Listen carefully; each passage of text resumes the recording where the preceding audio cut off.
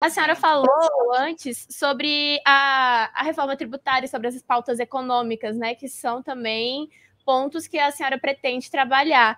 E um assunto que foi até levantado ontem, que começou a ser, ser debatido, assim, ser apontado, é que no grupo técnico de reforma tributária, que foi montado na Câmara, né, por onde o governo está tentando começar a articular com a PEC 45, temos a presença de 12 homens e de nenhuma mulher. Então, eu queria ouvir um pouco, a gente queria ouvir um pouco da senhora, como que, como que você avalia isso? Qual a importância que você vê da presença de mulheres em debates como esses, como dessas pautas econômicas e da reforma tributária? Se alguém também quiser complementar, né, minha, minha pergunta, com vontade. Com vontade, Marisa, foi ótimo. Pode falar. Bela pergunta, Marisa. Voltando lá na articulação, é, a, a campanha acabou quem foi eleito foi Luiz Inácio Lula da Silva. Eu gostaria muito de ter sido eleita, mas eu não fui eleita. Então agora acabou isso. Acabou e nesse momento a gente tem que entregar para o povo brasileiro.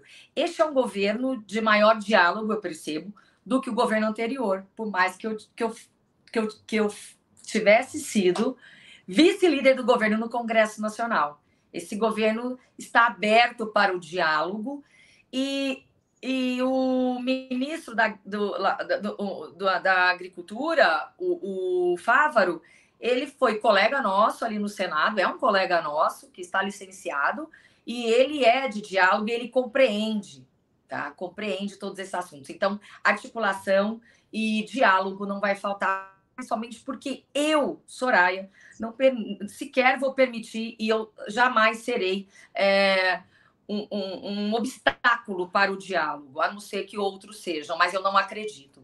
Bom, vamos lá para essa questão da pauta econômica.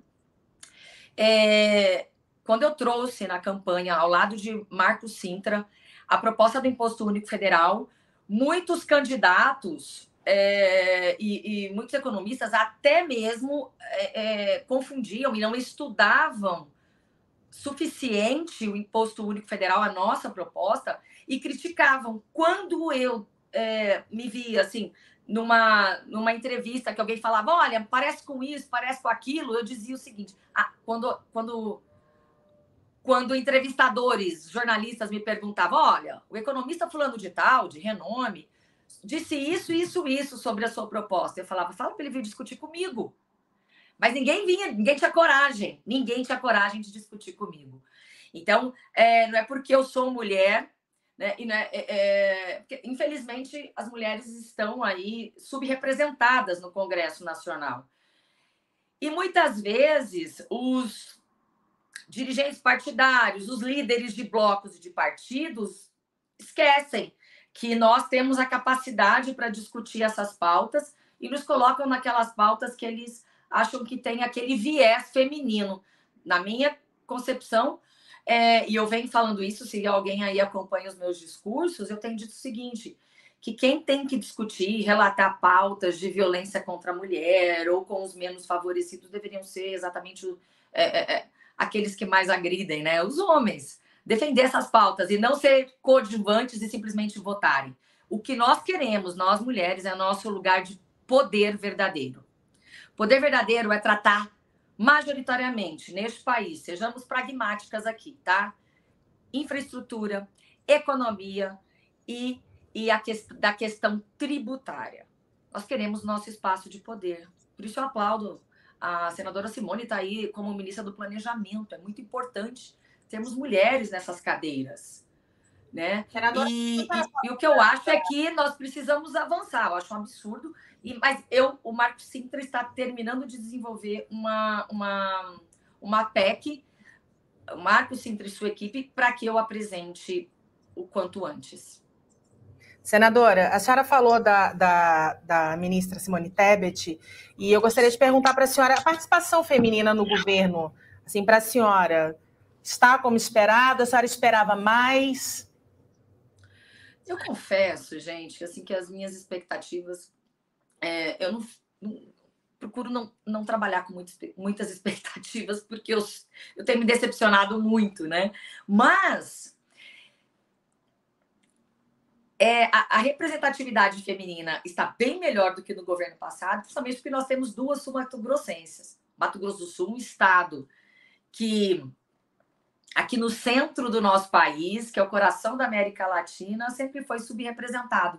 E a gente tem avançado né, nessa representação política nacional. E isso me traz uma alegria e um orgulho muito grande. Mato Grosso do Sul tem sido é, percebido é, no, no, âmbito nacional. Isso para nós é um orgulho. Nós temos duas ministras, a Cida e a Simone. E isso para mim é motivo de alegria, de orgulho independente das diferenças políticas, das diferenças ideológicas, eu acredito que isso seja muito é, um motivo muito grande de orgulho. Eu queria lhe perguntar, já que a gente está nesse assunto de representatividade, é, a senhora é parlamentar há quatro anos, não é isso? Me corrija. Sim, sim. Durante Somente esses quatro anos, anos, somente quatro anos, é bastante tempo. Durante esses quatro anos, vivenciou algum caso, algum momento que, que se viu confrontada pelo fato de ser mulher, estar numa posição de autoridade e teve ali que lidar com o machismo de uma forma, eu posso até dizer, mais grotesca do que diariamente a gente lida, porque o machismo é uma coisa que, infelizmente, faz parte da sociedade, às vezes nas esferas que às vezes a gente nem percebe. Mas no parlamento já lidou com situações assim? E se lidou Júlia, como é que. Né? Júlia, sim. E eu cheguei, eu cheguei na política é, dentro daquela, daquela, daquele conceito assim de absolutamente nada de vitimismo.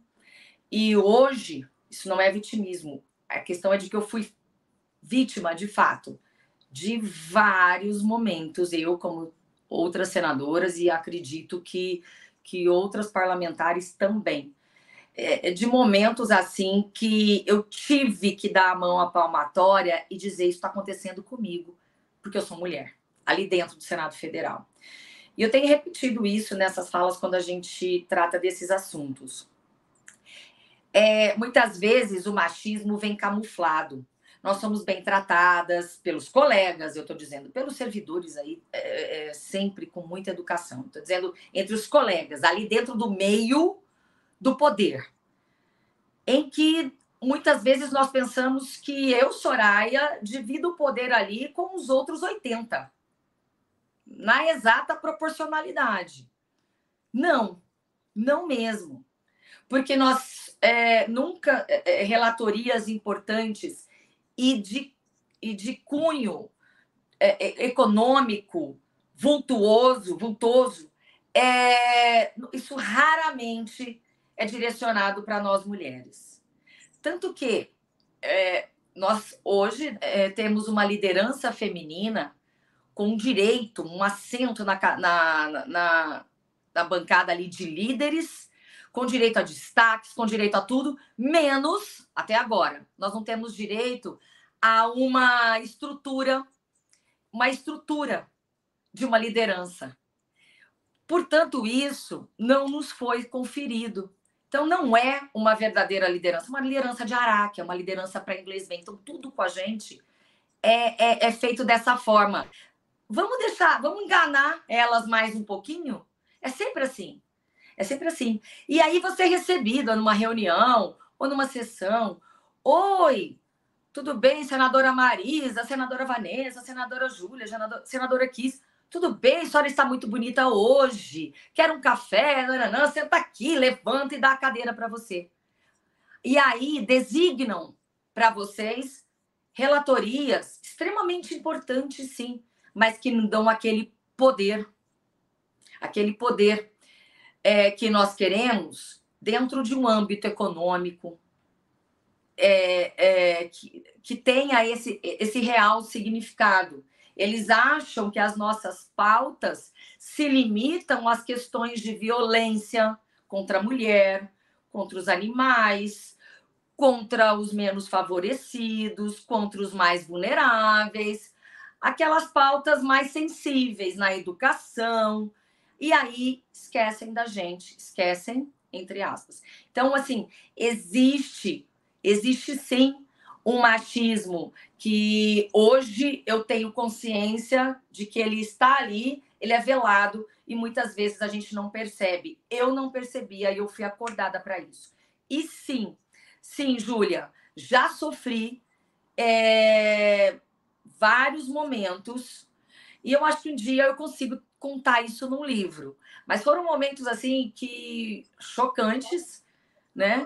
E eu fico pensando se eu, Soraya, senadora, né? É, dentro do até agora nós fomos o maior partido do país, sofri violência política, sofri violência na política. Se eu sofri isso, imagino que as outras mulheres não sofrem. Então eu sou obrigada hoje a ter consciência e fazer com que os, os outros acordem para este fato tão, assim, é, é, é tão aviltante para todo, para todos nós brasileiros, não é para todas nós não. É vergonhoso para os brasileiros em geral. E é uma coisa até que afasta outras mulheres da política. Me corrija se eu estiver errada. Eu lembro que durante a campanha a senhora sempre teve um discurso muito firme nos debates e isso era uma coisa que as pessoas achavam estranho. Então, assim, é como se não tivesse esse costume de ouvir mulheres falando de forma firme, combativa, não é mesmo? Como é que foi vivenciar esse papel de candidata? Foi um momento assim é, muito marcante na minha vida, na minha vida. De uma forma ou de outra foi um presente, mas foi um momento em que eu fui desafiada é, de diversas maneiras, mas eu saí mais forte. Eu, eu, eu, eu me assustava com as pessoas se assustando com as minhas palavras, com as minhas frases, com as minhas palavras, como se muita gente até do meio político já não me conhecesse. Isso para mim foi muito, muito estranho.